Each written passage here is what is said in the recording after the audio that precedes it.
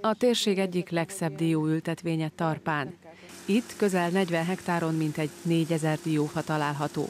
Guti Rudolf harmadik generációs termelő, aki már biogazdálkodást végez a területen, ezért speciális feltételeknek kell megfelelni a termesztés során. A tavalyi szárassághoz képest kedvezőbbnek tartja az elmúlt hónapok időjárását. A sok csapadék és az extrém meleg időszakok azonban több nehézséget is tartogattak az ökológiai termesztés során. A lombállományt például gyengébbnek értékeli idén, ezzel szemben a termés minősége kiváló lesz, a dió mérete a 34-36 mm-t is eléri, és a hozam is megfelelő a gazdálkodó szerint. A hozamot azt szerintem olyan két tonnára becsülöm.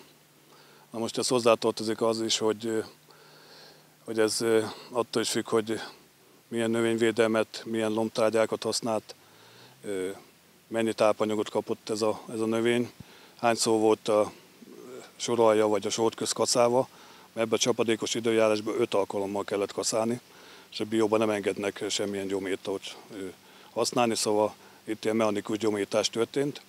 Ez is egy pluszköltséget jelent, de a másik oldalt úgy érzem, hogy kompenzálni fogja az ár, meg a, meg a piac. A permetezés is probléma volt, a biotermelésnél használt anyagok ugyanis kevésbé ellenállóak a sok csapadékkal szemben.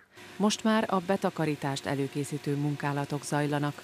A diót várhatóan a következő két hétben kezdik majd szedni. A betakarítás a szeptember közepén szokott kezdődni, de ezt mindig meghatározza az, hogy hogy vannak a csapadék, mert a csapadék hatására szokott kicsattanni a dió, hogy ne kelljen annyit leválogatni a burkot, meg ne kelljen különböző gépeken ezt törni.